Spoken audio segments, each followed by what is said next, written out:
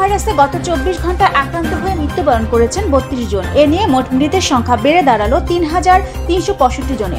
নতুন দুই হাজার ছয়শো এগারো জন সহ মোট শনাক্ত দুই লাখ পঞ্চান্ন হাজার একশো তেরো। শনিবার দুপুরে স্বাস্থ্য অধিদপ্তরের অতিরিক্ত মহাপরিচালক অধ্যাপক ডক্টর নাসিমা সুলতানা নিয়মিত বুলেটিনে এ তথ্য জানান।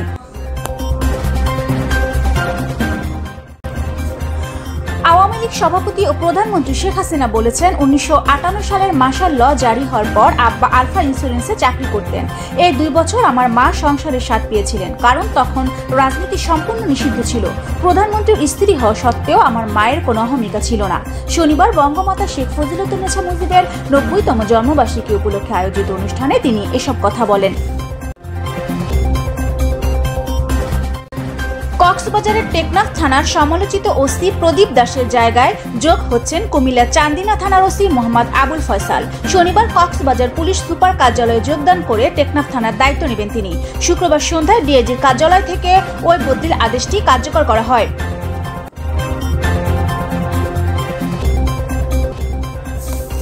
সাম্প্রদায়িকতা ও মৌলবাদের বিরুদ্ধে সোচ্চার ব্লগার নীলাদ্রি চট্টোপাধ্যায়ের নিলয় হত্যা মামলা তদন্ত শেষ হয়নি পাঁচ বছরেও। এই সুযোগে আদালত থেকে জামিন পেয়ে মুক্ত হয়ে গেছেন আলোচিত এই হত্যাকাণ্ডে গ্রেপ্তারদের সাতজন।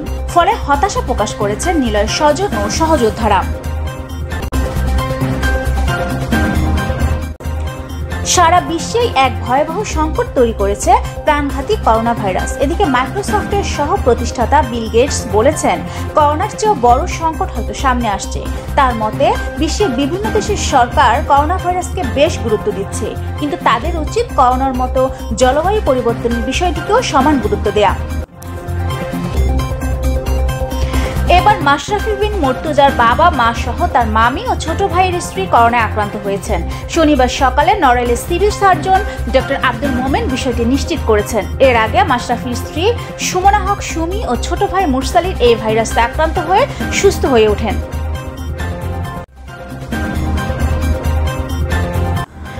বলিউডের খাল্লাস গাল বলা হয় অভিনেত্রী ঈশা কপিকরকে। শুধু বলিউড নয়, পাশাপাশি তামিল কর্মড ও মারাঠি ছবিতেও কাজ করেছেন তিনি। ঈশার জীবনের অন্যতম ব্রেক ছিল শাহরুখ খানের বিপরীতে অভিনয়। চলতি বছরের জানুয়ারি মাসে আনুষ্ঠানিকভাবে বিজেপিতে যোগ দিলেন এই অভিনেত্রী।